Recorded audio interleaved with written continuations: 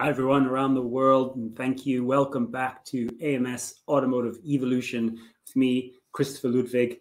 Exciting start here to another packed day uh, of, of, of forecasts, data, interviews, panels, looking at the transformation of the automotive manufacturing sector, driven, of course, in large part by electrification, by the push for sustainability, and by new opportunities in digitalization and automation.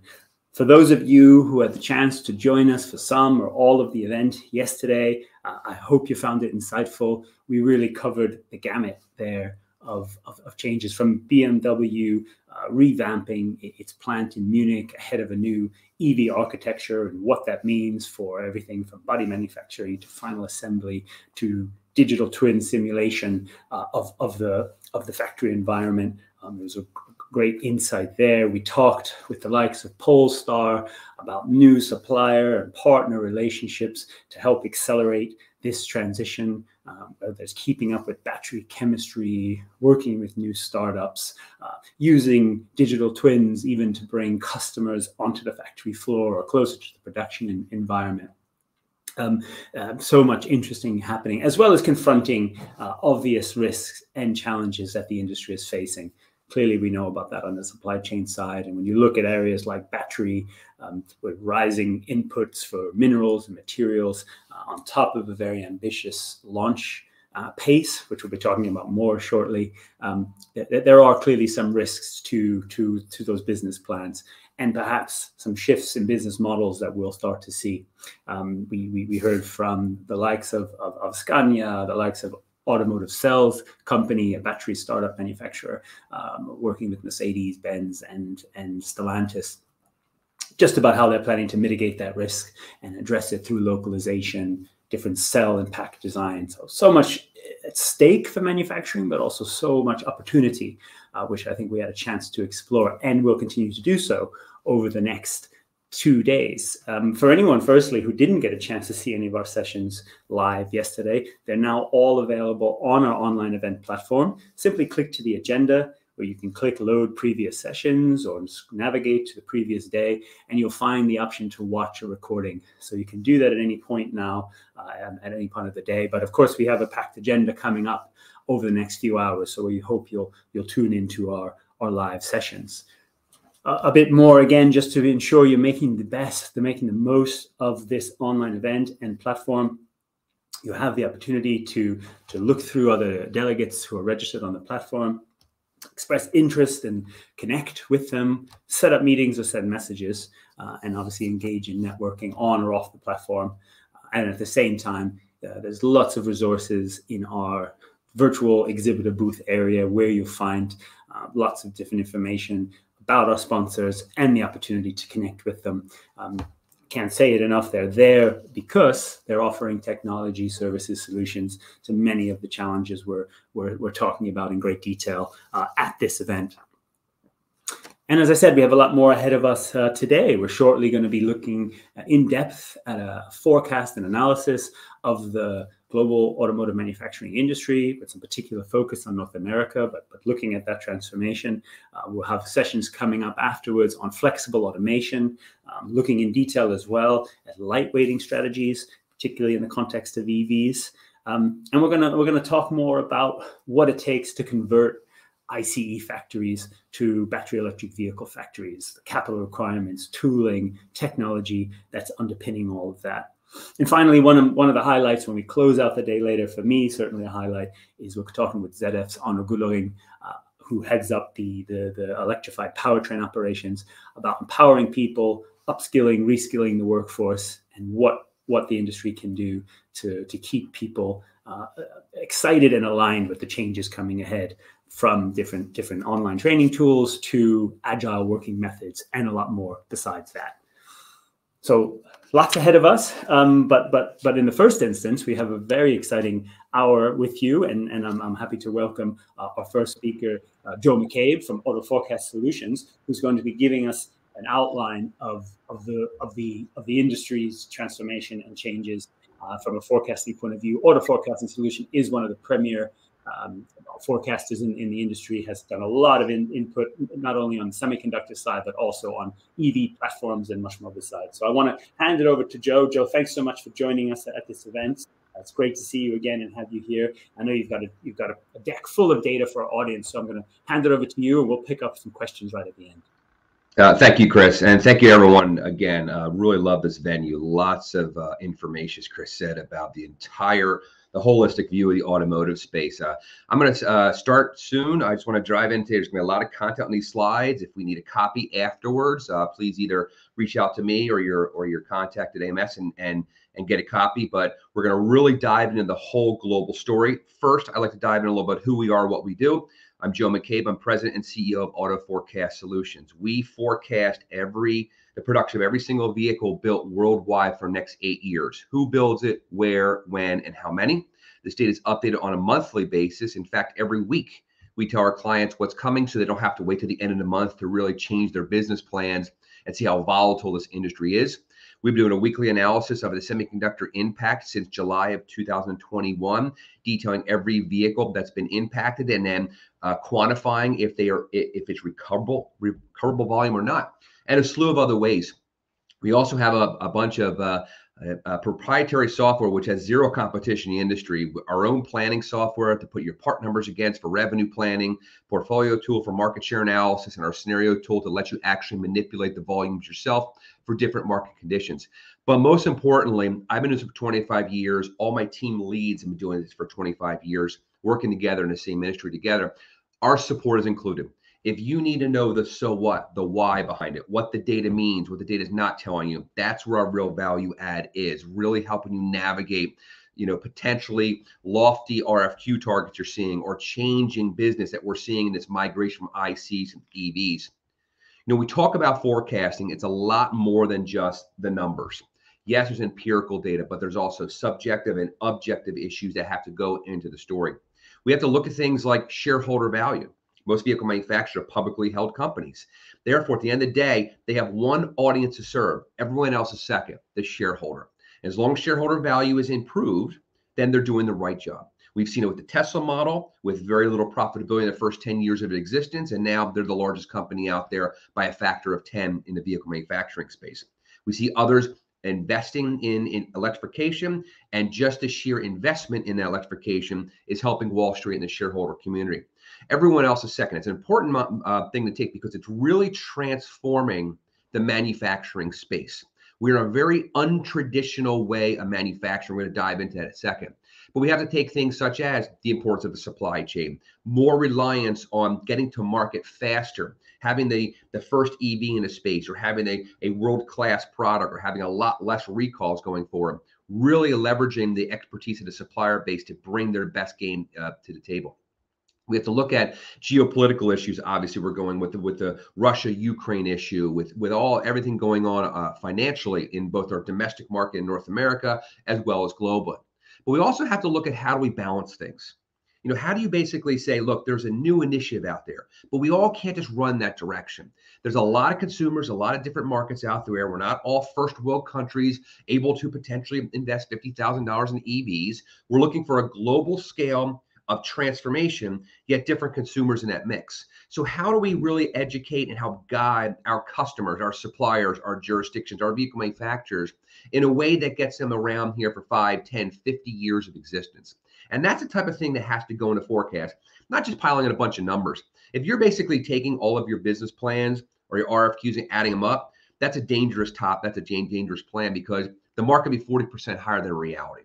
This was in a case pre-EV, and is even more of a case in a EV uh, focused world. So we're going to dive into all that. I do want to give a little overview of our last semiconductor report. This one went out last this past Monday. As I said, we go down a deep, deep dive into our, our customers get all the detail of every single vehicle and the unique volume impact, and then identify if it's recoverable or non-recoverable. But since the beginning of tracking, uh, about 12 and a quarter million units have been impacted production-wise at the manufacturing level. Now, since we're a forecasting company, as I said, we don't just add up everyone's business plans. It really equated to about 6.6 million units of lost production. Not all vehicles were lost that were impacted. For example, in North America, large trucks, large SUV are the bread and butter of the Detroit Three. Therefore, the idea when the chips come in, they were at they were uh, they were put into those vehicles. We're also seeing a lot of creativity in manufacturing, decontenting vehicles, taking up uh, heated seats, taking out Bluetooth, taking out certain things that will allow that vehicle to get to the consumer faster. That is a non-safety related chip uh, product.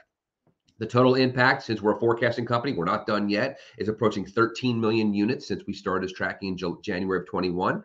Just this year, we're talking about nearly 2 million units of impacted volume that are announced, as well as nearly 2.5 million of forecasted. So another half million on top of that, or excuse me, there are 750,000 units on top of that of forecasted volume that has not been announced yet. It's impact these 435 plants on a global basis. And again, on a weekly level, we do this. Unfortunately, in North America and Europe are fighting for first place for a very unfortunate race. If you look on the right hand side, they're basically, you see the charts of our total potential, our total announced, and our total loss. And you'll see, like I said, North America, 2.3 million lost, 2.2 million lost in Europe, and obviously the, the larger of them. On the left hand side, basically, we're looking at the current market. This year, the worst impacted is definitely Europe, with lots of cases that, that being hit, piling on things like Ukraine and Russia and things of that nature. So they have the most of unrecoverable as well as forecasted going out as of this point. Unrecoverable, but our, our standpoint basically says if anything shut down for more than 15 days, that's putting in a really difficult position. So then we have to segment those into either at risk or completely unrecoverable and we go do that by vehicle by vehicle and, and, and guide our customers with that analysis. So yes, we told Chris said we're talking about a North America conversation, but you can't look at North America automotive in a vacuum. We all compete in a global space. So I'm going to tell a global story. We're going to talk about North America, obviously in detail. We're going to dive deep into the electrification outlook as well. If we look at North America right now at the bottom, I use this graph because in 16 and 17 it was a high watermark for the whole world. And then we look at basically coming in 19 into 20. So 20 starting at pandemic level, 21 still in it, 22 still in. It. So we are basically calling for recovery that's going to hit probably late late Q4 at best into Q1 of next year. And when I say I say recovery, it's not just the fact that magically there's going to be all these chips available. It's the combination of availability of chips and the creativity of manufacturing, like I said, of decontent those vehicles to get vehicles into consumers' hands faster. So it's not going to be a light switch moment that all of a sudden we have all the chips in line. It's going to be a very long, drawn, painful process. If you look at the forecast level of North America, yes, we did 17.8 million units in 16, but we don't believe that's going to be our future. This idea of, build, of, of a build where you sell mentality is important. So we don't build small cars to offset the former cafe calculation here. We still build the vehicles that are sold here. So what's going to happen is you're going to see better utilization capacity that a solid North America is really a high 16, mid 17, low to mid 17 number in perpetuity. We think that is strength in the market. And that's going to be an important conversation we're going to have very soon about the idea of volume impact as we ship into it shift into new products. A, t- a very interesting story here is China. In 2019, China built nearly 24.5 million light vehicles. And we all were going through the whole pain of COVID. Yet, if you look at 21, they built more in 2021 in the center of COVID than they did in 19 pre COVID. So it really talks to the fact that not all jurisdictions play by the same playbook. Manufacturers that want to take a leadership role, or countries like China who want to be global dominant in this, have are finding a way through the pain. And so it's a really important fact that it's not a rising tide raises all boats kind of conversation. There's a lot of pain the whole way, but China's the only one that seems to be in some sort of really fast recovery mode. The 1 million unit club talks the conversation of who is your current customer, but who should be your next customer. The idea of a million units of brand owner. So think of Volkswagen as a brand owner. It does Volkswagen doesn't build in China; their joint ventures do. So if I look up Volkswagen, our data set by vehicle manufacturer, I'll lose the China influence. But if I look at my brand owner, I'll see any manufacturer, joint venture, otherwise that are building their branded vehicles. Their Volkswagens, their Audis, their Porsches. So this means they have a lot of buying power and a lot of influence over their suppliers if they can do a million units per year. And the usual suspects bubble to the surface: Toyota, Volkswagen, etc. These should be the customers you're talking to. What I'm look focused more on is the bottom of the list: the Tatas, the Cherys, the Suzuki's, the Great Walls, Asian-based manufacturers that have a significant amount of buying power and therefore a significant amount of influence on suppliers to get better pricing, move to just-in-time production, the whole the whole supply chain lined up. And if you're not working with these customers now, they will be the next customer for front. And if you're not talking to them, your competition is. So the underlying theme we have here is always being proactive in your in your uh, your approach to the business. Understanding where we are now, understand those targets we're trying to go in, but really understanding where are these new up and comers and are you talking to them? Because a lot of these manufacturers want a North America footprint. They just don't have one yet. And they're going to need the guidance of a North America based supplier or a global supplier that's heavy in North America to really guide them. And that guiding supplier is going to be the one that's potentially going to win in the long run. If you look at the right hand side, you know, you look at the list of the inductees since 2012, but also the silver, right? Under uh, between 500 and million units per year. Beijing, BYD, Dongfeng, GAC. Again, all Chinese, Asian based manufacturers all looking to expand out their markets. Now, North America. This slide breaks it up into the major jurisdictions of North America. We look at US, Canada, Mexico. We do have some growth. Again, if we use 2016 as our anchor of high watermark, we do not see the us getting back to 17.8 nor the necessity to get back to 17.8. So if you're a volume-based supplier, which most suppliers are, we're going to talk about this some more. There's really this awakening issue of how do I reconfigure my business so maybe volume is not the only way, maybe value is, and we're going to talk about that in a second. So uh, yeah, I, I, obviously these are the trends we like to see, and, and and we see a growth, like I said, in 22 and 23 coming out of it. Uh, if you look at 16 as the high watermark and 20 is our la- last bottom, you, you see the growth and the uh, the compounding annualized growth rates on the right hand side. Uh, there's a little typo there, excuse me about that. But Canada, unfortunately, is usually always taking last place in terms of investment. A lot of times, Canada will have some investment made by a, a traditional legacy manufacturer, but then something taken away, so a net sum zero.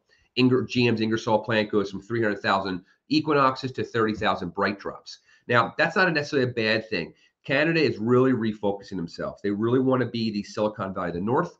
They're really focusing on how can we be a, an electrification epicenter globally that people want to come and work with us. They have materials, they have a centralized manufacturing location, they have top supplier, global suppliers located there. You think of Ontario, we think of Canada as one tenth the population of the United States, but we think even further concentrated as Ontario being the true epicenter of their manufacturing. They have a very strong government that's pushing electrification. We saw a new investment in Windsor from, from Stellantis. We see this really good movement, and we do expect to see non-traditional players, non-D3 and non, you know, Toyota and Honda looking at Canada seriously. What's going to happen in the future is you're going to have a market that is less um, a manufacturer puts a plant in and all the suppliers build around it to a jurisdiction has an EV epicenter with raw materials, battery operations, all the things, and if people come to it. So it's really changing the mix on how, how things are going on. And yes, COVID, semiconductor, raw material issues, global conflict, you know, on top of USMCA things, which aren't even being talked about anymore because we're all going through this pain of, of manufacturing. Now, if we look at North America a little different light, we say, well, let's look at those brand owners again. And our brand owners say Detroit 3, European based manufacturers, Asia based manufacturers are all staying in their lane. So if you're heavily weighted, if you're a Keiretsu type of supplier, great. If you're more of a Detroit 3 supplier, great. They're all staying in their lane. However, if you flip the narrative to an electrification perspective, we go from 14% of North America was building electrified vehicles, meaning BEVs and hybrids. We detailed the hybrids different, um, plug-in hybrids and and more granular. Uh, but this is basically just giving a highlight story and then we go from a threefold increase by 29 and we're considered conservative. I mean the idea is that we are not just mashing together oem business plans. No self-respecting manufacturer is going to tell their supplier less than 150000 evs a year because shareholders love the story. But again in, in forecasting not everyone wins. There's always a, a, a balancing act. There's always so much of a piece of pie to go around and everyone's getting looking for a slice but it's really important about looking at your product portfolio and the sheer migration and massive amount of growth. We live in a global uh, glacial market. Automotive is not traditionally a fast moving market. Supplier, vehicle manufacturer planning vehicles to be built three years from today, and they're just lining their, their suppliers up now. That vehicle will be around for five years. So now you're talking about an eight year cycle. Uh, this is not iPhones we're reinventing every year. These are large machines that need to keep people safe. They need to be they stylish. They need to fit into a consumer's need and in their budget. And it's really uh, for me forecasting to have this hockey stick growth of 14% to 46% is a tough pill to swallow. Unfortunately, that is the direction we're moving in. Now, when we look at North America, it's not just about knowing who is here. Forecasting is really about understanding where you are now, protecting yourself, looking at your short-term window, but also looking your long-term window. All things that we provide. This is the short list of customers that are or looking or are here in North America that you're not your customers. You should be paying attention to them, and they all have different strategies. GAC. Uh, you know, several years ago was relegated to the concourse outside in, in the uh, Detroit Auto Show just two short years ago, three short years ago, pre-COVID, they own the entire center floor, center stage of the auto show really bringing in high quality vehicles in North America. Uh, they have a huge relationship with Stellantis in in uh, North America. In fact, they're bringing in Dodge-based vehicles, uh, excuse me, uh, GAC-built vehicles into into Mexico, badging as Dodges, and then going to sell them locally to that domestic market.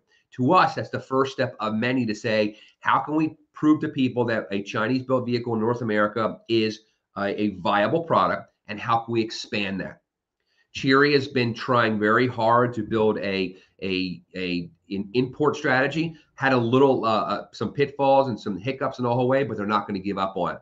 BYD, two words: Warren Buffett. Just two short months ago, BYD said globally we're going all EV, and bang, they're turning off their ICs and they're going all EV. First step of many. But Warren Buffett backed product into North America, just him behind it, behind it could really launch BYD to the front list of the North American investment.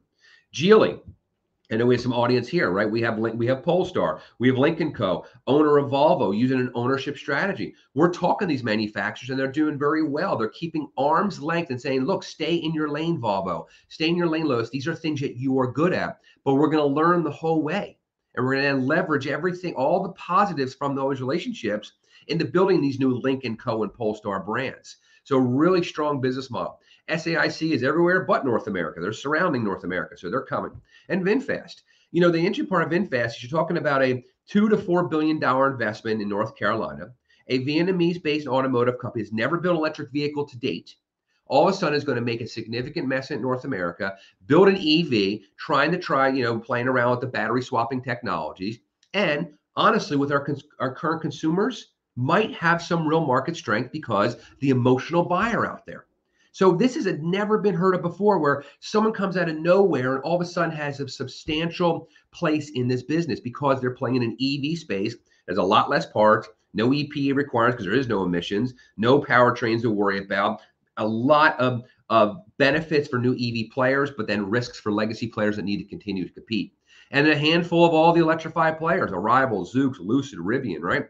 And Foxconn. Pay attention to Foxconn. We're talking about Foxconn that basically took over Lordstown facility, going to build the, the endurance. They're going to build uh, a contract mo- Mobility in Harmony. If you haven't looked it up, look it up. Platform because they want to own the software and they want to commonize. They want to make the platform sort of a commodity, and then build different contract manufacturing. We think contract manufacturing a huge play going forward. You got to pay attention to.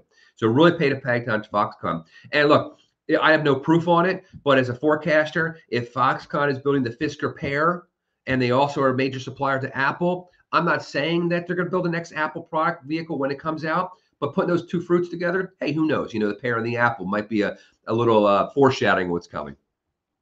Okay, China. You can't talk about North uh, production without talking about China. But China, I'm going to talk about in a different light. I'm going to talk about this lesson of disruption. In 2010, China was the size of North America in seven short years, 10 million units larger. They took advantage of a bottom, the global recession, and took that right to the moon. So this is possible. And the next one is if we're at our bottom now, we're coming out of this COVID issue. What are we going to say 10 years from now or seven years from now about who the new leader is? Is it a country? Is it a manufacturer never even heard of? So, really got to pay attention to that. This idea is proven out that disruption does help if you take the proactive approach. Now, a lot of it is subsidized by the, Chinese government. So when they took the subsidy away from the consumers in 18 and 19 dropped. But again, we have 30 million units of production. Now, China does not want to build in China export in perpetuity. They want to be global dominant players, and therefore they're going to continue to plant their flag elsewhere all over the world. Unfortunately, what you're looking at is 106 different vehicle manufacturers in China in 17 at high water mark. That still of drops a little bit, but still over 100 vehicle manufacturers, 100, you know, 104 GMs. Uh, that's a. I don't know if the Chinese government is going to support all of them. It's probably going to force some of the smaller players to get together. But 90 different brand owners, they've got 90 different Volkswagens in one region. We do think the Chinese government is going to have more and more influence, like they do now, and going to force the players that make 25,000 a year to become 50,000 a year and join and get together. So the volume is going to increase, but the number of players may decrease. So really pay attention to your mix. Okay, electrification. So why electrification, right? Uh, you know, the idea behind electrification is yes, we know all the hurdles, and we're going to talk about the hurdles, range, and cost, and things of that nature. Uh, we're not anti-electrification in the slightest, but we have to be realistic with the market and with our customers on how they do their planning. And one of the driving factors is affordability, and not just the fact that things are getting cheaper; they're not. A lot more on the left-hand side is getting financed and a lot more is getting fine a, a lot more getting financed over a longer period of time. So when we talk about affordability it's really not there. It's just the fact that the newer consumers are willing to spend more money over a longer period of time and therefore sort of shelter the fact of how expensive these vehicles are. I mean case in point right? I cut my cable line assuming i'm going to make some i'm going to save some money and i went off and got a new subscription service and i have 14 different other $5 services a month that frankly are probably more than I was paying in cable. But it's idea of sp- spreading out payments over longer terms and finding ways to make it on a smokescreen sort of affordable to a consumer. This is what's going to help drive $50,000, $60,000 electric vehicles.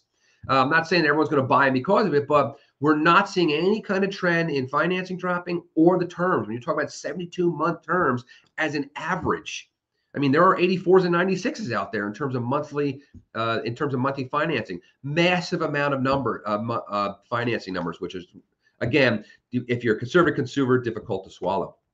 So let's drive into electrification. Let's first look at the global space and let's look at it from an XEV, all the electrified products. So I took around out the noise, let's call it, of any internal combustion vehicle in here. So all the forecasting we do, every vehicle built worldwide, we also break it down their powertrain components, their engines, their transmission, electric motors. And if anything of those changes, then we have to have a different forecast. Meaning, if an inline four is married to an automatic transmission or a manual, that's two different packages on a vehicle that we have to manage that have to sum up to the vehicle build. So SHEV is standard hybrid. We didn't want to use F for full hybrid because it gets in the way of fuel cells. PHEV is plug-in hybrid. Obviously, BEV is battery electric vehicle. And uh, the, the percentage of the blue line is the penetration rate of battery electric vehicles. Now, if you look at this market, one of every five vehicles built in 2029, our forecast is full battery electric. It's a lot of vehicles. But if you dive deeper into the into the graphics, you see that standard hybrids stay in their lane. We think there's still a huge market because of that consumer that is not all in on BEVs. And plug-in hybrids actually stay really uh, tempered. And that's because if you're going to make an investment in a plug-in hybrid, you're not too far away from the BEV investment. So this idea of stair stepping into st- standard hybrids to plug-in hybrids and BEVs, we're seeing more of a IC to BEV and a hybrid, standard hybrid to BEV mix. And this is where we see the growth. By 2025, BEVs will double standard hybrid production globally. Now, again, these will, if you look at and sign, line up all the business plans, the business plans are much higher than this, is much more realistic view that we believe of the world. But if you look at the right hand side, that makes 126 million vehicles that are battery electric on the on the on the um, road that have to have infrastructure. Again, that infrastructure does not exist right now globally. There's not enough lithium in the world to support that many vehicles. So we believe there is more coming. There's more. There's different battery battery chemistries coming. There's more creativity coming. There's more ways of saying how they're going to move this needle. I can't believe we're at the end of innovation for electrification. We're at the start of it where lithium is the major player, but we're going to find the reduction in nickel, the reduction in cobalt, right? For geopolitical and and and, and you know and personal reasons, obviously labor and things like that. But we're going to really see a mix. And the only way we're going to get to these numbers is really seeing that constant innovation push to get these car prices down at a reasonable place for the consumer, so they're out in their hands and we can hit these numbers. If we look at North America, everyone says North America's behind. We're not. One out of every four vehicles in 2029 is slated to be produced as a battery electric vehicle. Unfortunately, that puts 24.8 million units collectively by then on the road. Again, same broken record here. That infrastructure does not exist today, and not enough the world to support that in terms of North America, let alone the world. Now, what's happening is we're seeing more stick than carrot. We're seeing that uh, electrification is a governmental and environmental push. It is not a consumer push different from different different than uh, uh, the traditional automotive space. So when you see that that that that that, that CAFE uh, penalties are tripling, we are forcing vehicle manufacturers to get into this lane of production. So to get to these numbers, you got to get to like 30 or 35% EV share by 30. We don't think we're going to get there. That's a lot of volume to go and because we're going to have diminishing returns once we get to one and one every four vehicles fully electrified. But again, you got to really pay attention. What is driving this issue? Is consumers' desire, or is it more of a hey, we're trying to mandate a carbon footprint, save the world one vehicle at a time? Again, not against electrification, but it's it's a very difficult pill to swallow when you have a field of dreams approach that you're building a vehicle and you're forcing consumer they have to make a switch. In terms of European production, same story. One of every, let's say, uh, uh, four to three, three to four vehicles fully electric by 2029. Not a lot of plug-in hybrids there. They're making the leap, and that puts 35 million cumulative vehicles, uh, BEVs, on the road. Again, infrastructure. China, one out of every four vehicles. Now you might say, well, Europe was 28%, China's only 25%, but law of large numbers. 25% of a big number is a big number, right? So you're talking about 57 million BEVs to support on the road as a cumulative count right? You're seeing this massive 20 to 21 growth because that's when China said, yep, we're all in. The only way we're going to be global dominant is we're going to bring a, a really high end, high quality electric vehicle to all the markets outside. We've been already learning from all the uh, our European partners in the last couple decades because we they had to partner to come into China, and now we're gonna we're gonna grow out. Uh, global Ford brand owner you know, Ford still has a global presence, still has some some European presence. So one out of every three vehicles Ford is planning on building in 29 in our forecast, mind you, fully electric puts over 7 million Ford branded vehicles on the road in that time frame. GM brand owner, not a lot of European at all manufacturing more. That's why their numbers a little different, but it's mostly a China and a North America push. So one out of every five vehicles for North uh, for GM globally, fully electric, six million units on the road. Stellantis, one out of every four, right in the middle of Ford and GM.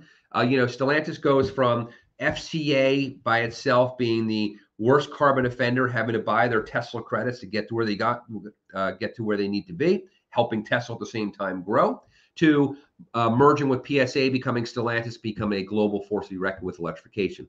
This is how fast this market's moving. 11 million units of their branded vehicles on the road by 29.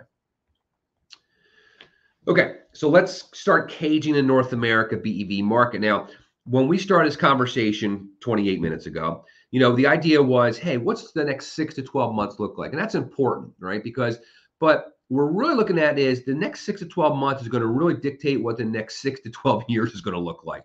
Because hopefully we're out of this COVID pain. Hopefully we have a chip issue yes, there's going to be some other issue that's going to happen. There's going to be some other raw material shortage. God forbid, it's going to be other some other pandemic or uh, related issue or or catastrophic issue that's going to happen. It, it's unfortunate because we all live in this global integrated space.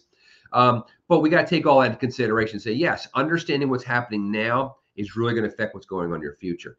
But a little history lesson. In 2019, there was only seven fully electric vehicles on the road in North America. By 29, 107 right? So 10 years, we're adding 100 new nameplates, and everyone's assumes, well, Tesla's going to be the global leader all the time. It's tough to be the, it's good would be a global leader when you're the only player. It's a little more difficult when there's another, uh, there's hundreds of more competitors right knocking on your door for that same that same consumer. Same time frame. In 2019, there was only three brands pushing electric vehicles in North America: Chevy, Nissan, and Tesla. 37 different brands doing nearly 5 million BEVs in 10 short years later. And two of those years are two or three years that have a COVID impact. So, yes, there's hockey stick. Not always fans of hockey stick, but this is where the growth is. You can tell any story you want depending on how you make your graphic, right? So, uh, but that and that growth of BEV production and new entrants is really going to change the market dynamic going forward. If you look at key electrified platforms just in North America, left hand side of the legacy players, right hand side is North America by itself. Excuse me, new players by itself. Uh, GM uh, BV1 going down the contract manufacturing base. We believe uh, leveraging electrification in the commercial vehicle space is an important one because they can sell larger pieces of them to fleets. They can get better optics to the consumer, seeing an Amazon trucks zipping around saying, hey, that's pretty cool. It's electric. So getting the optics and the consumer more invested in electrification. And uh, so that's what's going to happen with BrightDrop. Their underpinnings are going to be a, for a commercial vehicle van, and they're going to basically go out and find new players to build. So they're going to take the Ingersoll plant, which was again capable of doing 300,000 Equinox a year, currently on target to do about 30,000 BrightDrops. But as they get more contracts, they're going to fill that capacity. So GM may have three, four, five different customers they're building for under one roof using their skateboard design. We think this idea is going to be really important going to the future, trying to fill capacity using partnerships, collaboration, and so on. The BEV3 platform is their global platform that's going to be fully, you know, really coming out this year for their Lyriq and their Celestiq, their Cadillac electrified products. Their, their Blazer is going to be electrified. Their Equinox is going to be electrified. Their Buick variants and even the Cruise brand under this new global platform is going to be electrified underpinnings. The BUT and BET, the Hummer, right? So think about this and this is where their money makers are, right? The Tahoes, the Silverados, the Escalade. But think about how the optics again are taking probably the, one of the worst offending vehicles of terms of EPA, the Hummer, uh, on the road, and transforming that whole brand into a thousand horsepower green machine, right? So we're changing how brand uh, uh, brands are looked at. We're really trying to revitalize. GM trying to take their Cadillac brand that had a more of a a mature market consumer and they're trying to make it into a youthful consumer by pushing more electrified. So we're really going to see this real mix. So, you know, using yesterday's views of the market and, and products is difficult for moving forward for in, into the future. Uh, Ford with their program with the Lightning being one of the first electrified products out there uh, in terms of trucks. The current one is a a reconfigured Ford Lightning uh, F Series. The next one's going to be a complete underpinning in 25. Stellantis uh, platforms, the small, medium, large, and frame platforms that Stellantis is pushing, uh, electrified platforms. On the right hand side, these dates are fluid because of COVID, because of chips, because of just difficulty, right? Rivian already said, hey, we're having difficulty, but we're still going to stay on on par for our 25,000 units per year. They've only done about 2,000 a date. So they they're they have a lot of ramping coming out, but a good product. Lucid, high end product, you know, over 100,000, but cool product to pay attention to.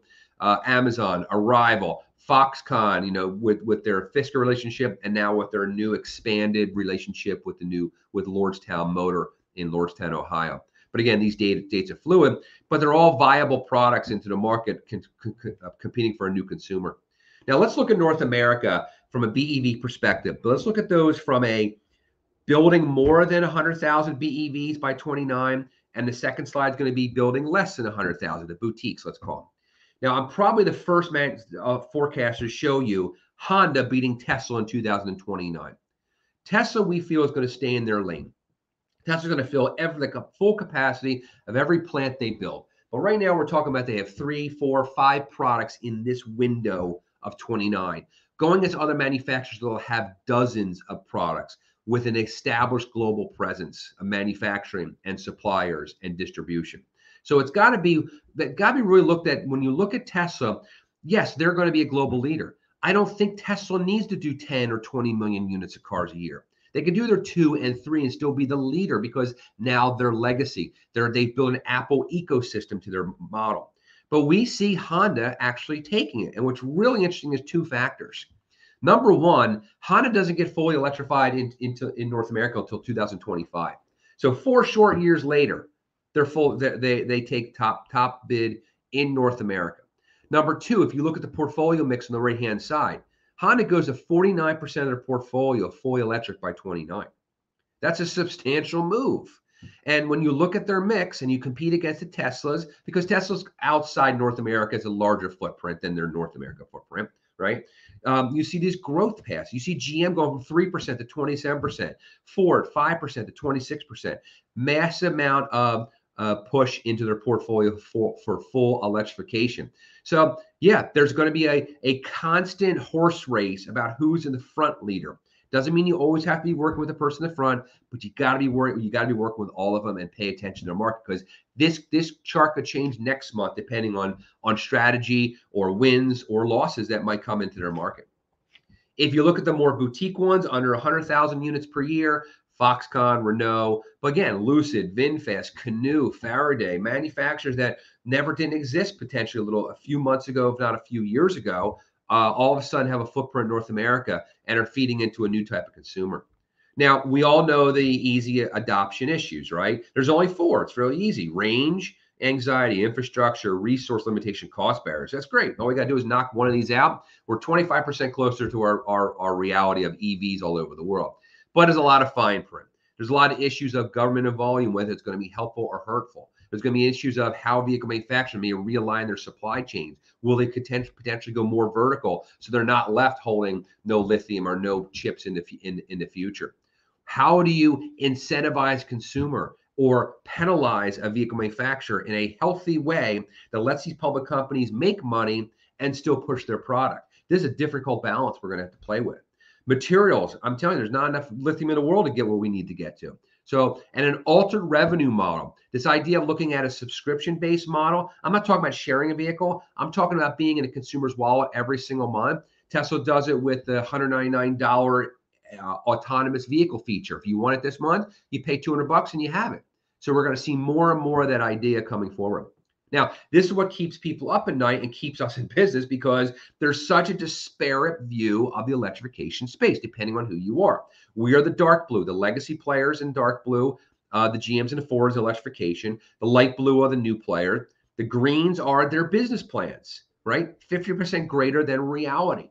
And then you layer in the optimists and the futurists and the economic views that say, hey, we're going to basically take a ruler, take two points, give 12% growth every month, and bang, we're going to have fully electrified by 2029.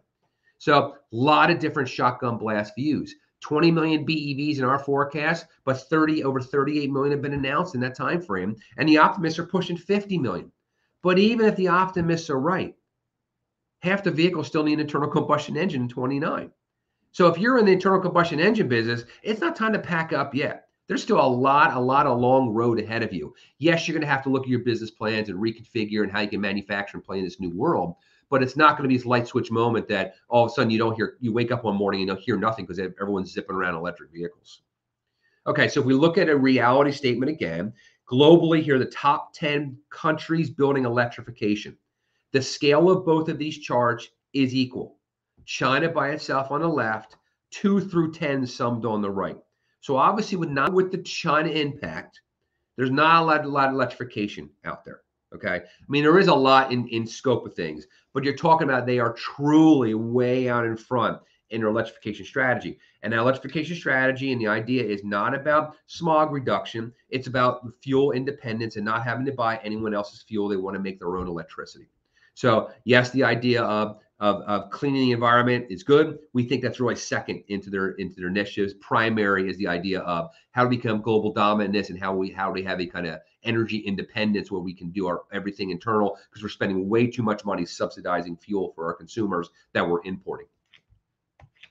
If you look at mix by major market, North America, Europe, and China broken out, look, North America, like I said, is, is actually doing really well in terms of penetration rates of BEVs and hybrids. Again, as I said earlier, China, you know, half of it's going is, is looking at this idea of electrification, but it's just a massive market. 30 million units. It's difficult to electrify all of them. So yes, their massive, their percentages might be a little different, but their volumes uh, are greatly larger than everyone else.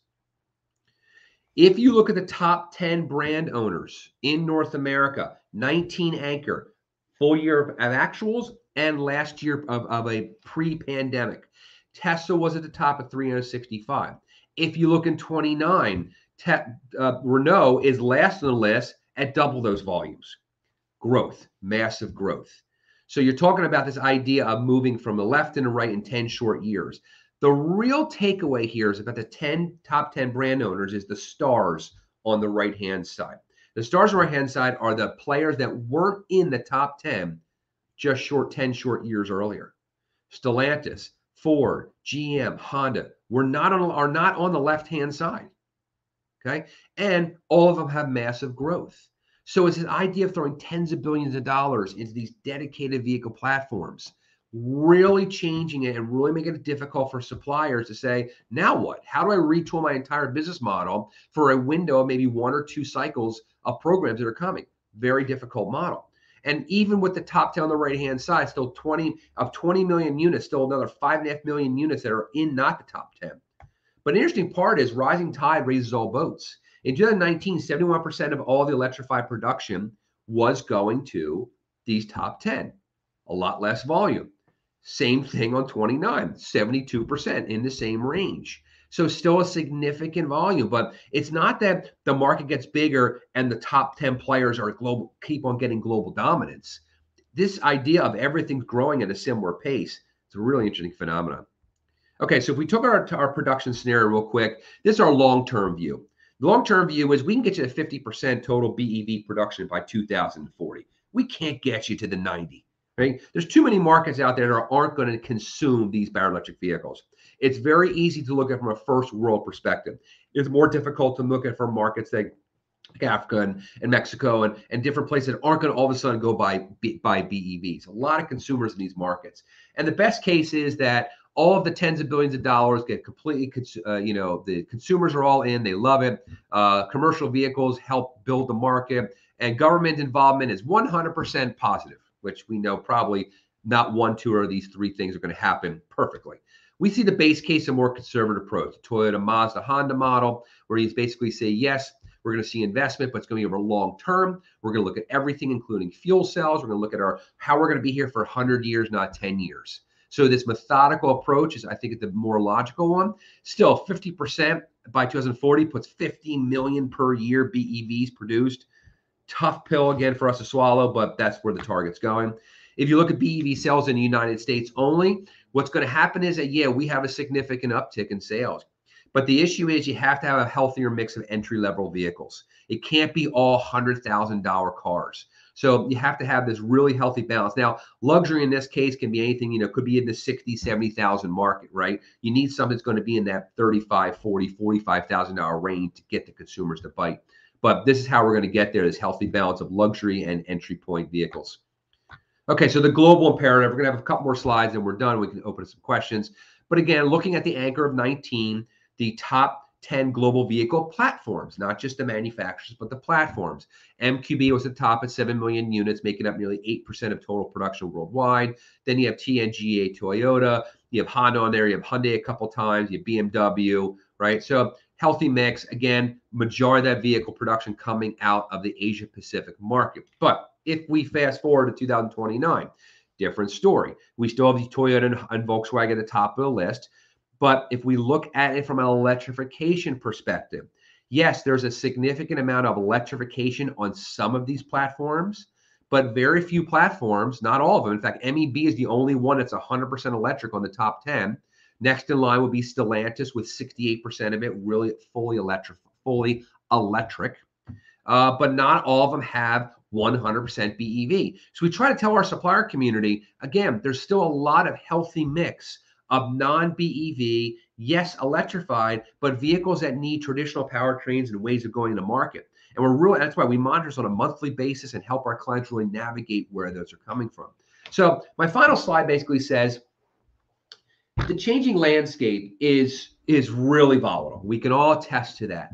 And what we got to do is we got to look at current methodologies, but we have to understand what happened in the past, today, and what's going on in the future. So what's happening is there's a changing consumer out there brand loyalty has eroded. Very few people bleed BMW or Ford or Chevy blood through and through, right? People are emotionally, a new consumer has an emotional buying.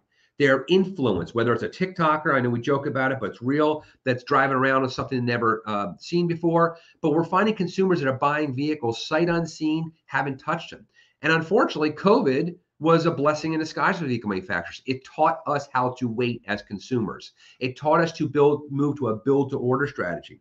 We don't see a future with 90 days of inventory on a lot anymore. We see the manufacturers going, look, here's the new plan. People are going to order it either online or at the dealer, and you dealer are going to be the person hands in the keys and be the concierge service. Really going to change the market. It's going to help the profitability of all the manufacturers as well. The China effect, it's not if, it is when they're coming to North America.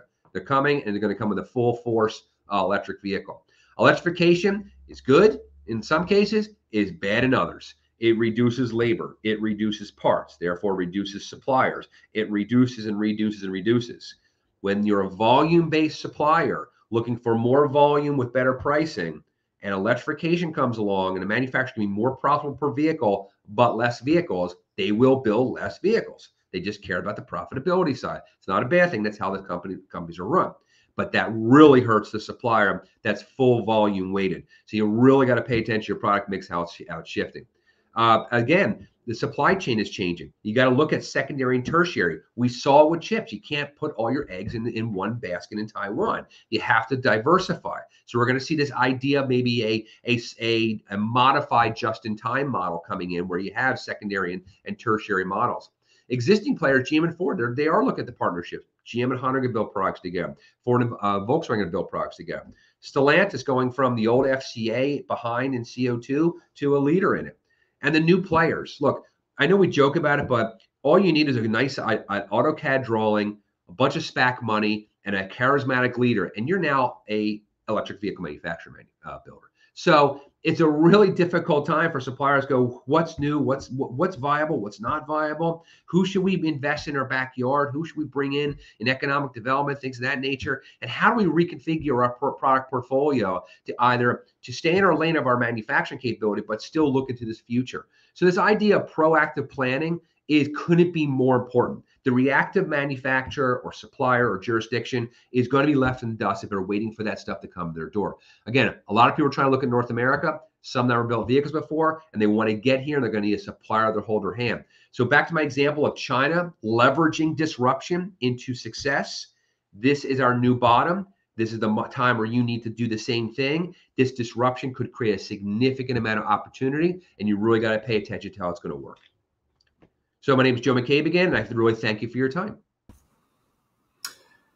And Joe, we thank you. We thank you for your time and, and, and your input on this. Obviously, that is a, a fast changing landscape, a lot of disruption, but as you rightly point out, some tremendous opportunities uh, within that. Whether whether that's for traditional players still eking out um, um, space for for ICE, or indeed, of course, across this changing business model for electrification. There's a few points in the Q and A that I want to I want to pick pick out uh, and drill down with you just a little bit more. Uh, the first is really this this shift from volume to value, and I think you, you made the point uh, taking North America, 16 2016 level 17.8. No need to get back there really, the, mm-hmm. at least from the, some of those OEM perspective. But what I want to kind of get a sense from you is, um, does that also inevitably bring some some some some tough pain to to either volume low margin volume players who don't convert in time or even or, or across the supply chain. Um, because clearly we can see high profits from some car makers who've been able to make that switch. Um, and i'm not sure if, if every supplier can move with them. In your view is is there is there kind of pain to come in that shift from volume to value? Uh, absolutely. Uh, again, you know, we, we work with a lot of suppliers that really say, hey, here's a global platform. We make a common part. Let's call it a a handle or a doorknob or a window or a mirror, whatever it is.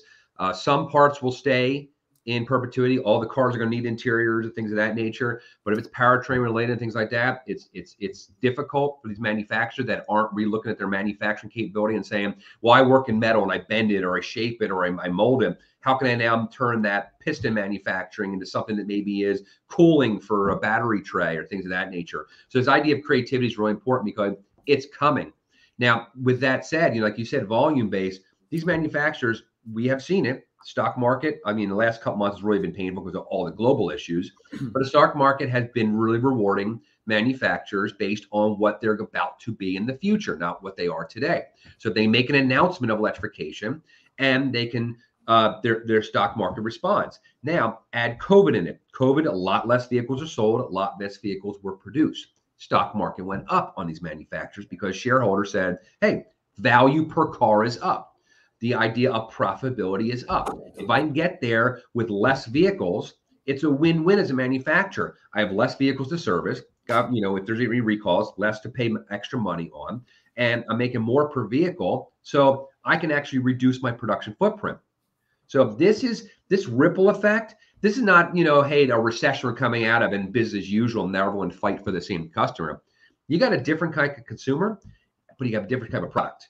The EVs will last longer. Um, you know, th- there, there's a lot of negatives for the powertrain players, but yeah, this value side really has to be taken consideration because we're not going to get back to this massive volume uh, to play perspective. Mm. I, I, wonder if we also uh, the potential of a kind of hard landing in economic terms. Obviously, we see this rising inflation, interest rates going up, trying to find that balance, tough to do. On the automotive side, the input costs we know are going up, particularly if we look at areas like the battery.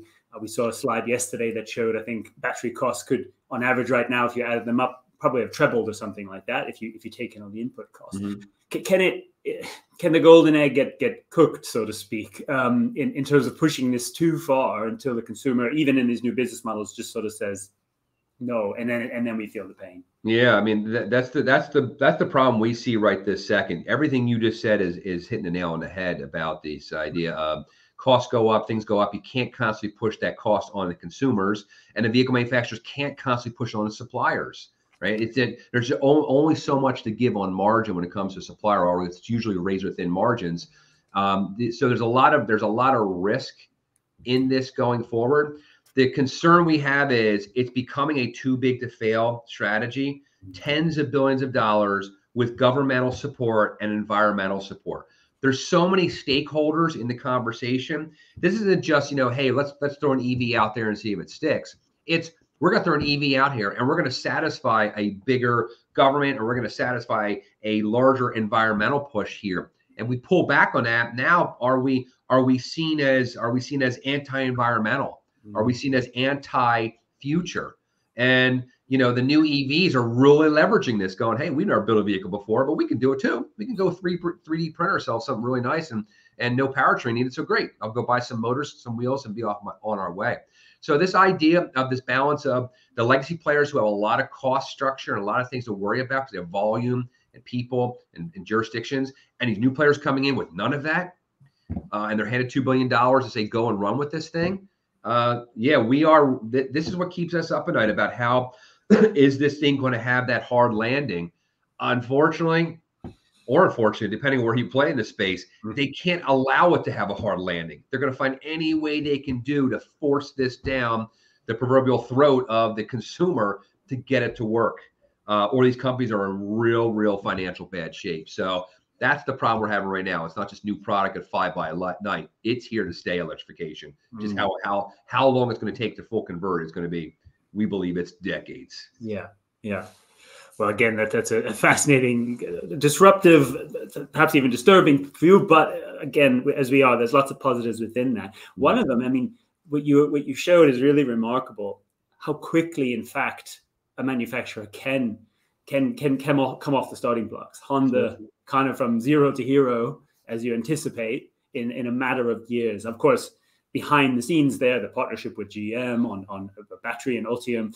Um, no doubt kind of setting them up for that. But that ability to come out of the starting block so fast is is something I also think we've rarely seen. Do you think that that sort of at least bodes well, or at least can you know some positive signals for the the players who are a little bit behind the curve? Um, they, if they get moving now, they may still be able to be in this race. Absolutely, I, it's either going to be some chemistry that pulls it off, some new technology, some innovation. I believe, yeah, this is not this race is nowhere near uh, over. Like I said, next month I, we may change, and GM comes with an announcement, go they're going to convert this plant 100% to EV again, and now we have to put them have belief behind it and say, well, maybe now they're second if not first. So, you know, at the end of the day, uh, being, you know, we've always seen the past. Being first doesn't mean you're always the best at all times. There are a bunch of people, Honda and the, the Asia-based manufacturers love it. They sit in the weeds and they wait and they learn and they digest and they see what works and what doesn't work and says, great, we're going to come out and we're going to come out this product. They work on this stuff for a decade, if not more. They just didn't see the need to push it so hard. But the China influence, forcing new energy vehicles, you have to play there. The California influence, right? You, you got to look at these new players. Of yeah, it's going to be a constant horse race. It's not a significant amount of volume. So all someone has to do is add 50,000 units to their viability story, and they they can move up three three parts of ranking. So it's um yeah, we think that there is not a need to be number one uh, and yet we have not determined that number one has been picked yet. It's going to be constantly fluid.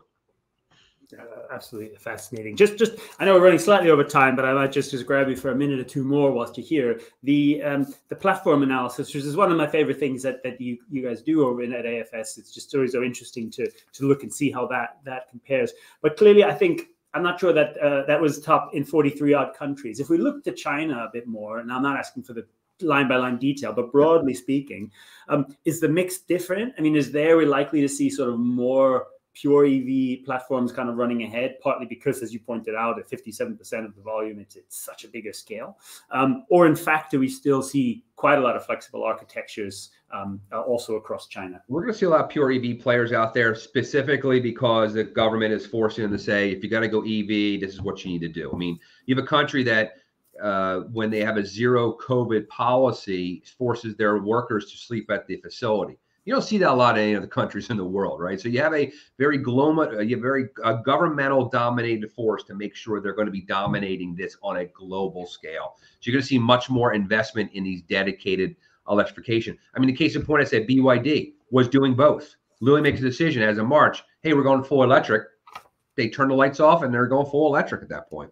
So it's really interesting how they're the driving factor behind them in that in that jurisdiction is more of a uh, do it or else kind of conversation. So you're going to see more dedicated platforms that come out of it that are full battery electric. And maybe just last point, you know, we we we saw the news actually just just earlier this week or last week, kind of confirming Fisker working with with Foxconn. You you, you showed you showed on on the slide there some uh, some scope there as well. But do you see do you see more scope for this contract manufacturing uh, in whether in the North America or European context um, for some of these new players?